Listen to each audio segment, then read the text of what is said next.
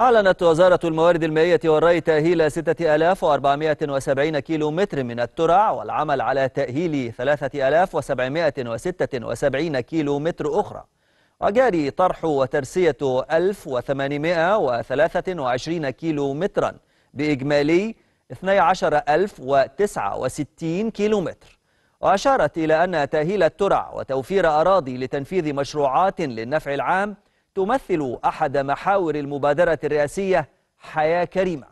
وأوضحت أنه يتم تنفيذ مشروعات كبرى للحماية من أخطار السيول وحماية الشواطئ المصرية للتكيف مع التأثيرات السلبية للتغيرات المناخية حيث أعدت الوزارة أطلسا للسيول يتم تحديثه وزيادة السعة الاستيعابية لبعض البحيرات الصناعية طبقا لدراسات محدثة.